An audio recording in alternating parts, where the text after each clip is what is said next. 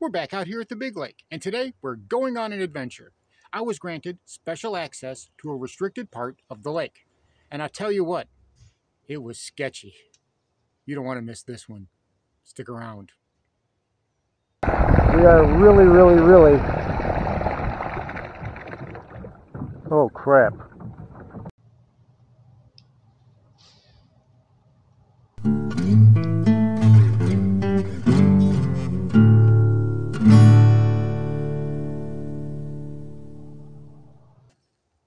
Here is this video's featured comment. Congratulations! If you would like to have a chance to have your comment featured in an upcoming video, all you've got to do is leave a comment. And now, on with the video. Welcome back to Lowbrow Fishing, and today is sort of a special episode. Rather than the normal tips and tricks that I have for you, I've got an adventure. I was granted special access to go to a special off-limits part of the lake. See, there's a part of the lake that's beyond the westernmost dam on one of the branches. And I've noticed it for years. I've never really had a chance to fish it. You can fish it from the backside of that dam, but other than that, that's pretty much complete virgin water.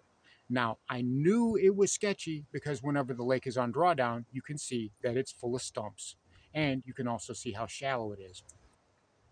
But, you know, virgin water and a pressured lake like this, I couldn't resist the opportunity. So I loaded up the little boat, dropped her in the water, and started to troll around to see what I could find. And I'm telling you what, ooh, man, I don't know if I'm going to do that again.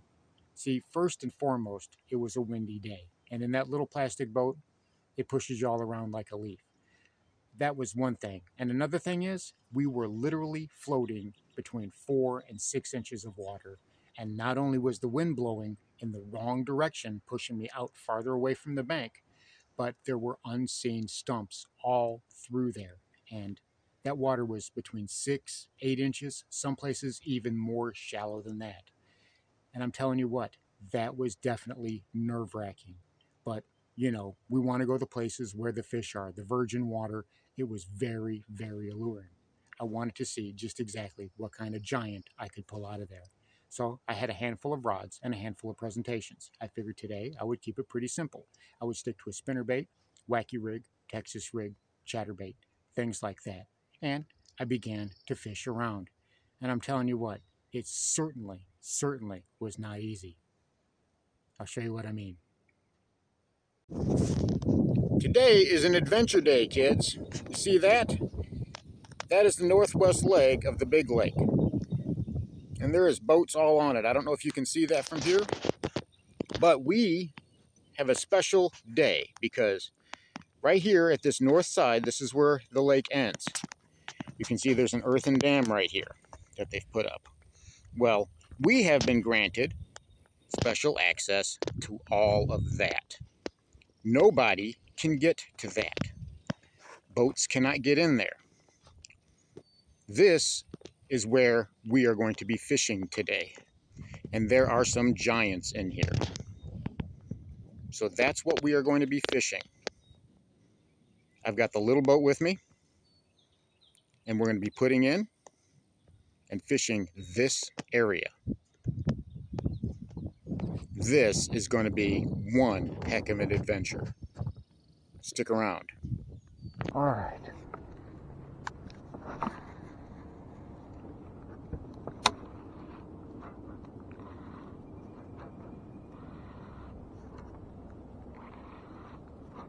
I know there's toads in here. I know there is. The question is, is what do they want? What do those toads want?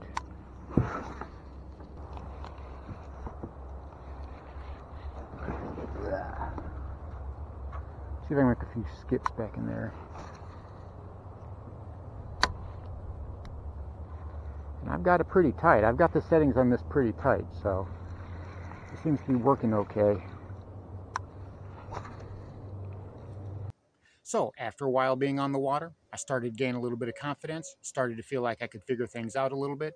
The wind started to die down, and the bite started to pick up. That's when we started to catch fish. We were able to start figuring out a pattern.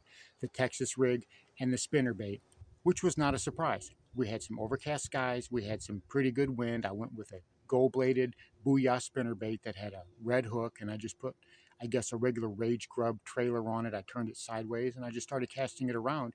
And as you can see here, well, we started catching some pretty good fish. Just a huge, huge pile of stumps. But there are a whole bunch of things out here that I would like to fish. Now you knew it was going to be a struggle. I mean, this is normally an off limits area for a reason, right? But I was talking to the guy, uh, the guy who runs this place, the uh, the guy who's uh, in charge of the lake, and I was asking him. I was asking him if I could fish up in here, if anybody ever got to fish up in here. And he told me that he was going to let me fish in here uh, he says, he says, man, he says, you fish wherever you want to. So he says, I've been coming up here for ages and I've not caused anybody any trouble. I've not done anything but fish. Oh, come on, there we go. We got him. There we go.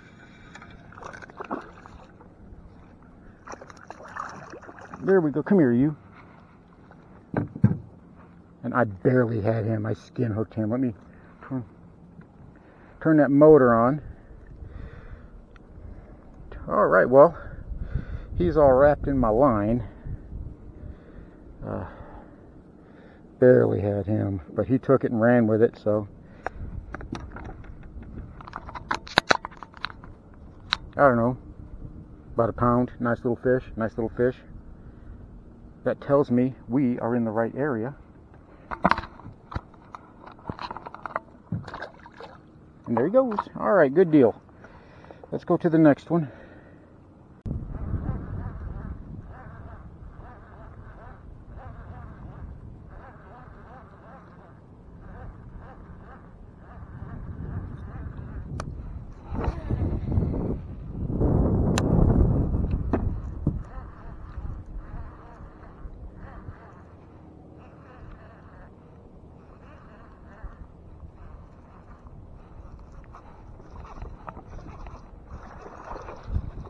Got him. Yeah, I got a nice one. Ha ha. Beautiful, beautiful color. Spinner bait. They're in here. Ooh, don't you lose your prize. It's about a two pound bass. Right there. Nice little bass on a spinner bait. We've caught some nice fish today. Gorgeous, gorgeous. Thank you, buddy. Thank you, thank you, thank you. All right, let's get right back to it, see if we can't replicate that. And while those were nice fish, that's not why I was there. I wanted giants. That's what we want, right? Virgin water. Look how tasty. You know there's got to be some big girls in there somewhere. Nobody fishes this. Nobody can fish it. It's virgin water. So I decided, you know, like they say, no risk it, no biscuit. Let's see how skinny that little boat can get. And I started to head out to where it was really, really shallow. And man, I don't know if that was a good idea because I'll be honest, there was times there I did not know if I was going to be able to turn around to make it back. Take a look and you'll see exactly what I mean.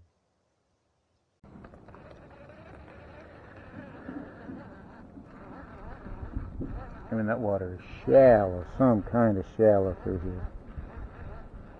It may be knee deep. Yep, there's a stump. There's a stump right there. We're getting into the danger zone here. This is where it gets dangerous. This is, uh, my trolling motor is not going to be of any use because it's too shallow, it's too mucky. Um, it's already kind of dug into the dirt a little bit here. And I don't want to really risk turning it on at this point because it's just going to just going to dig into the uh, muck, and that's not what I want. I just, but I do. I mean, this is, it's super, super gradual shallow back here. Super gradual shallow. This is pretty hairy right through here, kids. I mean, we are in some kind of, we are in some kind of shallow water here. Moving backwards. Okay, well, yeah, this is, this is a little bit more treacherous than I had bargained for. This is this is a little bit more treacherous than I had bargained for, but I'm just trying to get over here to these fish. But we are in some super, super shallow water. Ooh. You see that?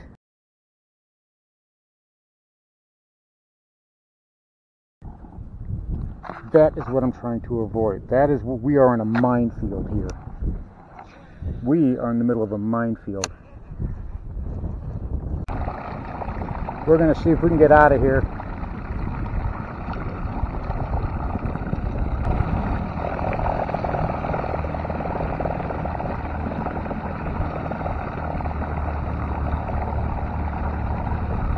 I mean, this is, we're risking it, kids. We are risking it. This is why this place is restricted. We are really, really, really Oh crap. Okay.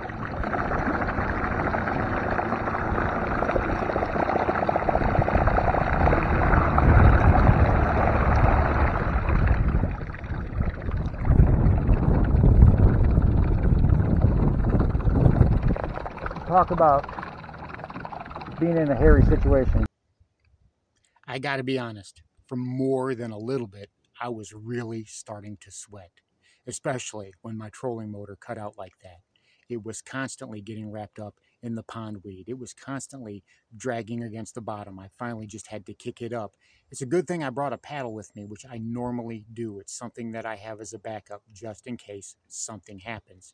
And I used it probably as much as I did the trolling motor today because I just couldn't couldn't run the trolling motor. It was just too mucky.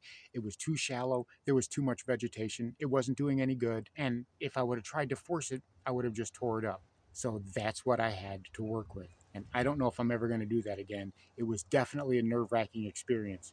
And I never did find those big girls that were in there. Am I going to go back in there eventually? Oh, yeah, one day. But I'm going to wait until the conditions are more conducive for the little boat. I mean, there's no way I'm going to get the bass buggy in there. It's probably better for something like a kayak. But even then, that's stretching it. That place back there is restricted for a reason. There's a reason why people aren't allowed to go back in there because you are taking your own life into your hands. And I mean that seriously. With all the stumps that were in there, and I snagged, I bumped quite a few of them.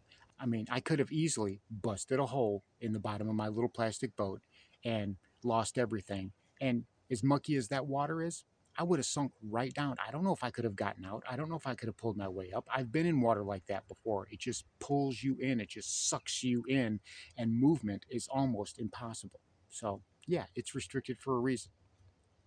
But eventually, when the weather is right, when the winds are in a better direction, obviously I'm going to have to go try it again. So, there you have it a white knuckle adventure to be sure. I found out that maybe my boat doesn't need to go in some places, but we did end up catching some fish. I can still hear those big girls calling to me though, so you know I'm going to have to put the little boat back in there just to satisfy my curiosity. Am I going to be a little bit safer next time? I certainly hope so. I would like to wait for better weather, but we'll see.